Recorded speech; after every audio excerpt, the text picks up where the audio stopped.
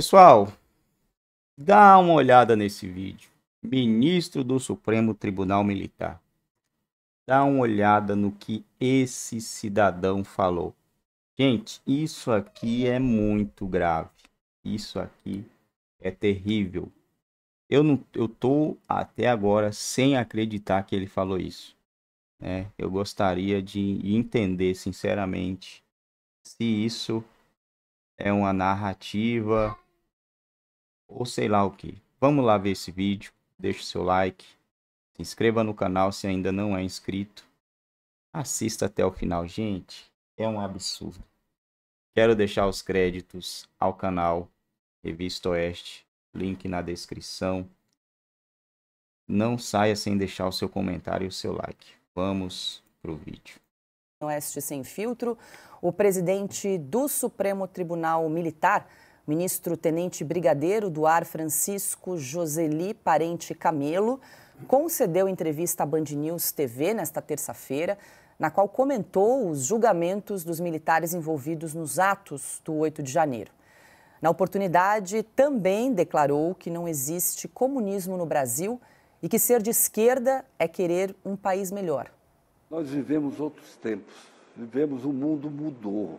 O mundo, não, não, há, não há mais o, o, a divisão, o muro de Berlim já caiu há muito tempo, e não existe no Brasil essa ideia de que existe o comunismo. O comunismo não acabou. Para mim não existe o comunismo. No Brasil não existe.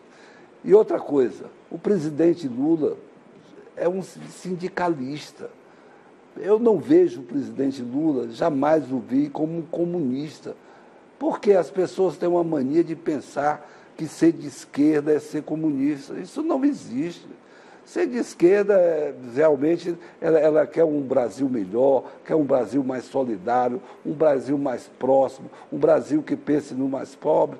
É tudo isso que a esquerda pensa. Então, ser de esquerda não é ser comunismo, e o comunismo, para mim, não existe no nosso país. E o senhor, conta para a gente, para encerrar, é de esquerda ou de direita? Nós, militares, não somos nem de esquerda, nem de direita e nem temos partido. Nós queremos o melhor para o Brasil. Bom, Francisco Joseli Parente Camelo tornou-se tenente brigadeiro do ar em 2012.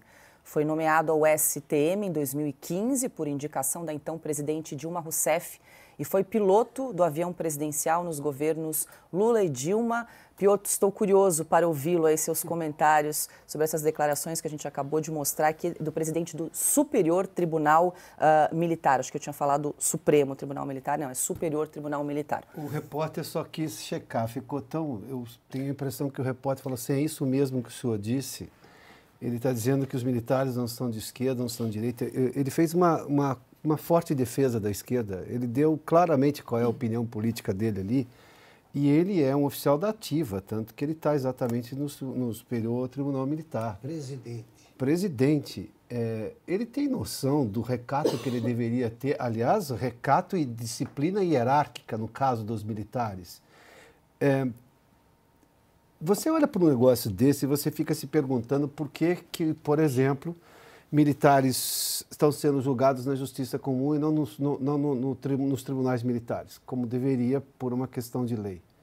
É, porque muita gente, como o presidente do Superior Tribunal Militar, se omitiu do debate, do debate da defesa de prerrogativas legais.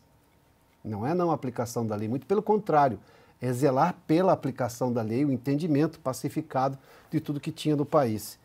Ele disse claramente, o repórter ali ficou, bom, é mesmo? Será que foi isso que eu ouvi? E ele disse assim, claro, ele está defendendo aí o lado da esquerda, como militar da ativa. É, e ele é o presidente do Superior Tribunal Militar. Eu fico imaginando como é que se faz, então. Processa-se o, o, o, o, presidente do Superior Tribunal Militar para ele se explicar melhor? Se ele acha que isso é postura de um militar da ativa, se ele tinha que entrar nesse mérito, não devia sequer dar essa entrevista. Porque, como nesse caso um juiz militar, devia se pronunciar nos autos, ponto. É outro que acha que pode sair dando entrevista a todo momento, é o que a gente está vendo aí. Augusto. Alguns comentários. É, ele pareceu um pouco confuso, esse senhor, né, que é militar, presidente do, do superior Tribunal Supremo Tribunal Militar. Tá bom. Em 68, ah, com o AI-5, o, o, esse tribunal passou a julgar todos os casos políticos. É, ah, isso foi determinado pelo AI-5. Imagine se esse militar estivesse lá. Na época que não ia acontecer. Já aconteceu o que sabemos. Mas imagine ele presidindo isso. Vamos lá. Ele disse que a esquerda quer o melhor para o país. Portanto, a direita quer o pior. Sim. Era isso que o, o jornalista também se esqueceu de perguntar. Ele disse que o exército não é de esquerda, nem de direita, nem de centro, né? poderia acrescentar, porque aí filia todo mundo ao PSD. Nem de centro, nada, quer o melhor para o país, então é de esquerda. Se quer exatamente o que a esquerda quer, suponho que o exército da cabeça desse militar seja parte da esquerda. Mas não existe comunismo no Brasil? Sim, não está no poder. Agora, o Partido Comunista do Brasil representa o quê? A direita. O que que pensa, o que pretende para o Brasil, por exemplo, Franklin Martins? A democracia. Né? E tantos que eu poderia citar, esses malucos aí que, que são da ala, da ala esquerda do PT, né? da ala mais avançada, eles querem o quê? Democracia. Então não dá para entender o que, o que ele está falando. Né? Não tem, não tem comunista, não tem comunismo, mas tem fascista. Todos somos fascistas. A direita é fascista. Então ele vê o Brasil uma, de uma maneira que não é a, a, a, uma simplificação, essa maneira de ver. É idiotia mesmo. Mesmo, ele não está entendendo nada. Agora vocês me deram os dados sobre como é que foi a entrada em cena do nosso militar, aí, claro, ele, ele aprendeu essa. É, aprendeu política com a Dilma e com o Lula. Só podia dar nessa cabeça. Aí é uma mistura de duas cabeças baldias. Aí deu isso aí. Não tem uma frase só para lembrar, ele, o, o, o chefe dele, pelo menos ideologicamente, né? Estou entendendo, ele foi inclusive piloto do avião presidencial. É é, o Lula disse pela primeira vez colocamos um ministro comunista no Supremo Tribunal Federal uhum. em referência ao Dino. Temos, tá o, o Binha, temos esse vídeo aí, o Binha, talvez seja bom lembrar. Bem lembrado. Está desmentindo o presidente. Está desmentindo o presidente. Eu fico imaginando. O presidente é o comandante em chefe das Forças Armadas, é o seu chefe, é, é tenente brigadeiro, ele, é isso? É, o senhor deveria repensar sua frase, porque o seu chefe disse outra coisa. Então existe o comunismo no Brasil. Sim, está aqui, inclusive, segundo o presidente, um ministro comunista no Supremo Tribunal Federal, o que também, em tese, é uma afronta. Juízes julgam o que está nos autos. É isso aí. Né? Mas, enfim, é, acho que esse presidente do Superior Tribunal Militar ah, fez uma série. Ele, ele, fez essa declaração no cargo de juiz. Vamos convidar Sim. também. Né? Não poderia falar aqui. e o CNJ, Conselho Nacional de Justiça, poderia agir de alguma forma. É, aquela questão é mais um que fala fora dos autos. Convida é. para ser tá entrevistado tá aqui, porque o nosso Pronto, entrevistador aí, vou te contar. A nossa lista não, não meu, acaba. Não acaba, meu Deus do céu. A, a pergunta vem assim pulando é, na, na boca do gol, é só você empurrar. Não, não perguntam. Não perguntam. Silvio, quero te ouvir também, e, e, me lembrou uma fala do ministro Alexandre de Moraes no ano passado, num evento aí, Tribunal de Contas do Estado, quando ele disse também que não tinha comunismo no Brasil. Não sei se vocês se recordam, se nós temos essa fala do ministro Alexandre de Moraes. Eu vou trazer aqui, se a gente então, achar, a gente exibe. Então, a gente... Disse o seguinte, é, aspas aqui para o ministro Alexandre de Moraes, essa fala ocorreu em 6 de outubro de 2023. É impressionante como o comunismo da Ibope, né? Já que 99% das pessoas que falam nem sabem o que é comunismo. Aqueles que sabem, sabem que não existe mais comunismo. A China é comunista, né? É mais capitalista que nós. Aí segue ele. Eu escrevi sobre isso. É, é. Viagem pela cabeça de um ministro. Então, não dá para entender nada, né? Pois é, eu segui lendo aqui, é. mas estava um pouco difícil não, de é, compreender. Nesse mesmo artigo, ele disse o seguinte: assim, se você parar com o uso do celular, o Brasil fica entra para o Clube das Nações super desenvolvidas, porque o celular toma tempo demais de todo mundo aqui, ninguém trabalha, não é isso? É, eu vou encontrar esse, esse artigo para a gente exibir aqui na tela é enquanto o Silvio comenta aqui. Tem que dar 48 horas para o Lula para ele falar quem é comunista aqui no Brasil. Está todo é, mundo é desmentindo. porque depois ele disse que esperava que o Dino fosse um comunista do bem. Pronto. Supondo, então, que exista o do mal também. O Pode ser do bem e do mal. Tem vários, então, não é, não é só um. Perdão, Silvio. Acabamos. Desculpa, Silvio.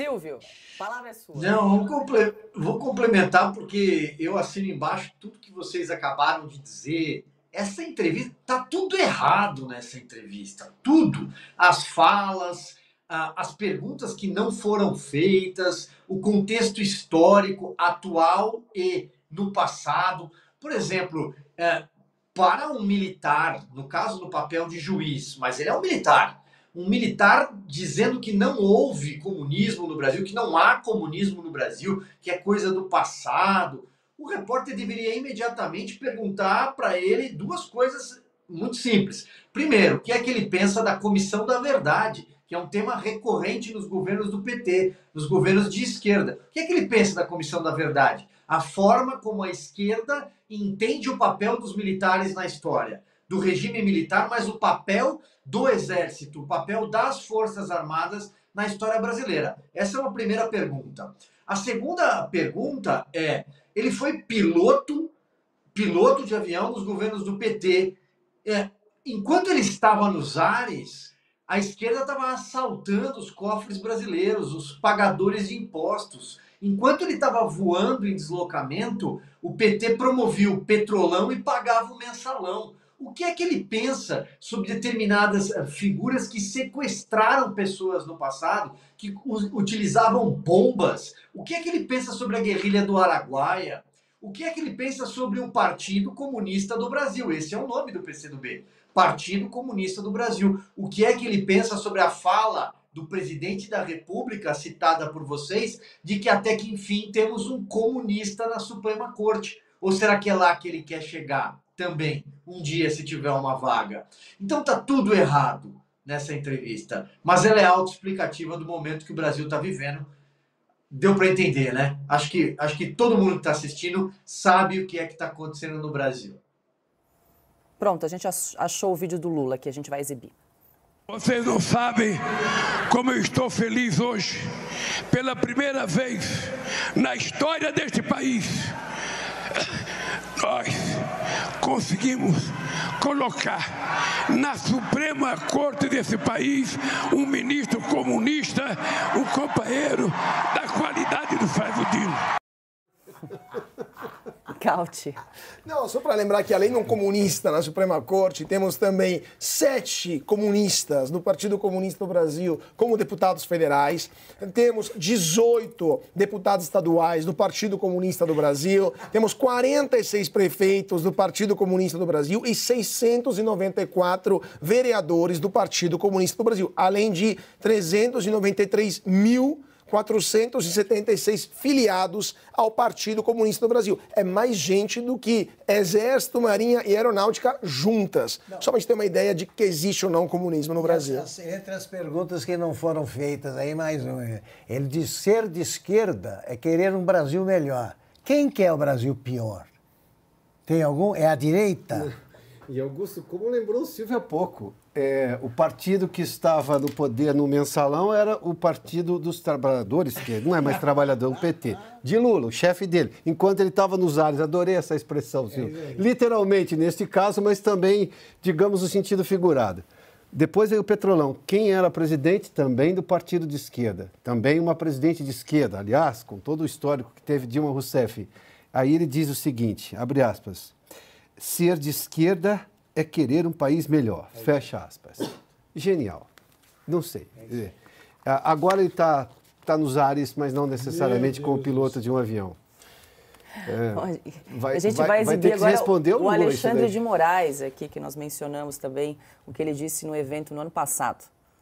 Que é impressionante como o comunismo dá ibope, né? 99% das pessoas que falam nem sabem o que é comunismo.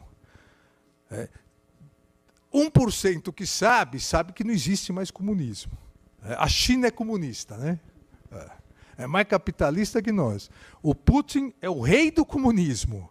É, mas você fala em comunismo, principalmente pessoas mais velhas, você fala em comunismo, é um negócio. É o, por que, que você é contra não sei o quê? Porque vão instalar o comunismo no Brasil. Tá aí, Augusto, você bem lembra. Ibope, né? Ibope é que não existe mais. Eu até vou pedir para a gente exibir aqui o artigo que esse vídeo, aliás, te inspirou a escrever a Tremenda Viagem. Tá aí o artigo que nós publicamos na revista Oeste, edição 189, Augusto. A última etapa do voo pela cabeça de Moraes inclui um looping em zona de turbulência e um rasante na guerra de secessão. Está impedido. Até a guerra de secessão. Estava inspirado, Augusto, nesse artigo. Ele estava inspirado ali. Eu nunca vi um negócio desse. Eu devia estar. Tá, é, é, ele está num voo aí, o piloto é o juiz ali. Que, é o brigadeiro. O brigadeiro que, que preside o, o tribunal. Eu quero aproveitar, gente, agora 19 horas 21 minutinhos, você que está acompanhando o Oeste Sem Bom, pessoal, se o cara era piloto do cara que estava voando para lá e para cá, pegando 300 milhões dali, 300 milhões daqui, como disse, não sou eu que estou dizendo, os caras que deram os 300 milhões para o Barbudinho que falaram, olha, ele tem muita grana, porque a gente deu 300 milhões para ele aqui, 300 ali, 300 de lá. Aí veio o outro ministro dele e falou que e que agora é ministro dele, né? Entregou, falou que ele tinha dinheiro para ganhar nas maquininhas até 2030 e pouco, é porque o negócio foi muito corruptível, né? Aí vem esse cara aí falar que ele não via nada. Gente, isso aí é uma narrativa comprada, ó. Você vai lá, a gente ajeitou uma entrevista para você. Isso aí com certeza já faz parte daqueles 200 milhões que vai ser injetado, né? Isso é apenas a boca do funil quem entende de funil aí, quem faz vendas, né? é empresário, entender a boca do funil para colocar ali pessoas dentro disso daí, para as pessoas realmente, né? O comunismo narrativa, narrativa. Esse cara foi colocado ali para falar isso. Ele foi colocado, foi escolhido a dedo para dar essa entrevista. Deve ter rolado algum papel aí por trás de tudo isso. Isso não foi por acaso, gente. Esse piloto, ele viu ele viu muita coisa, né? Com toda certeza esse cara deve ter visto muita coisa, só que aí vem o Barbudinho e fala que colocou o ministro comunista, graças a Deus, aí o outro ministro é ministro comunista, né? Não precisa nem ficar falando o nome de Deus com essas coisas aí, né? E aí vem ele falar que não existe no Brasil narrativinha pronta, né? Foi mandado, né? Foi mandado com toda certeza, né, gente? Ninguém, tem que ter dúvida que isso aí foi mandado com toda certeza, né? Ninguém tem essa dúvida, né? Eu não tenho dúvida, tá, pessoal? Eu não tenho dúvida de que isso aí foi arranjado para que ele falasse isso e vai continuar tendo, né, esses arranjos, porque ele é um cara de autoridade que agora é, ninguém quer mais ver a... esses caras aí. Infelizmente, eles entregaram essas pessoas que estão presas, perderam o valor caras perderam o valor que eles tinham no Brasil, perderam o prestígio. Né? Tanto é que esses desfiles, enquanto for ter, acredito que quem tem um pouquinho de noção não vai em nenhum desses desfiles mais. Essa é a, é a realidade. E não existe mais o comunismo. É uma ideia furada.